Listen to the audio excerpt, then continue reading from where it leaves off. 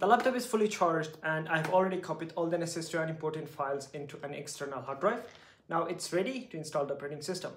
Uh, I'm gonna jump onto my other laptop and download the Ubuntu setup and create a bootable USB drive so I can plug it in and install the Ubuntu setup. So let's go. So in order to download the Ubuntu setup, we're gonna go to Google, open your favorite browser, Google, and then search for Ubuntu download. It's gonna be the first link. Click on it, and then we're gonna install or download the latest version of it would be Ubuntu 24042 LTS or long-term support. And then you can click on this button here, the download. I've already uh, clicked on it and it's downloading right now. Now we need to download another tool called Rufus in order to enable us to create a bootable uh, USB drive. Create, search for Rufus on Google and then click on the first link. As you can see here, I do have the Ubuntu and the Rufus setup. Now I think we can open the Rufus. Once the Rufus is open. We're gonna choose the USB I do have it right here and then we're gonna choose disk ISO uh, for the boot selection we're gonna choose the disk or ISO image and then we're gonna go select the file. Uh, we're gonna choose the Ubuntu setup that we just downloaded.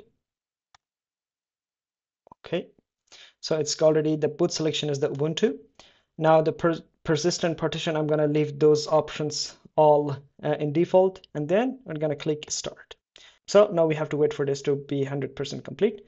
One eternity later. So now it's completely done.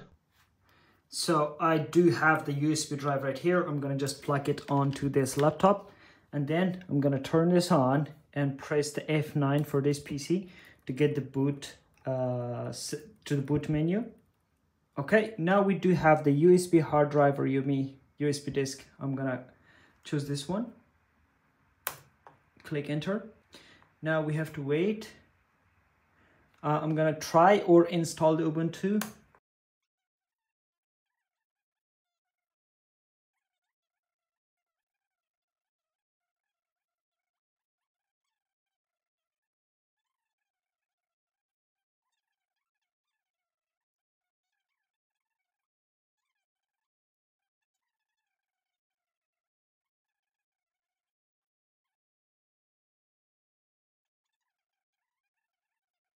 So we have successfully installed the host operating system for our SOC lab. In the next video, we're going to download and install the VMware Workstation Pro on this laptop to create the virtual environment. So see you in the next video.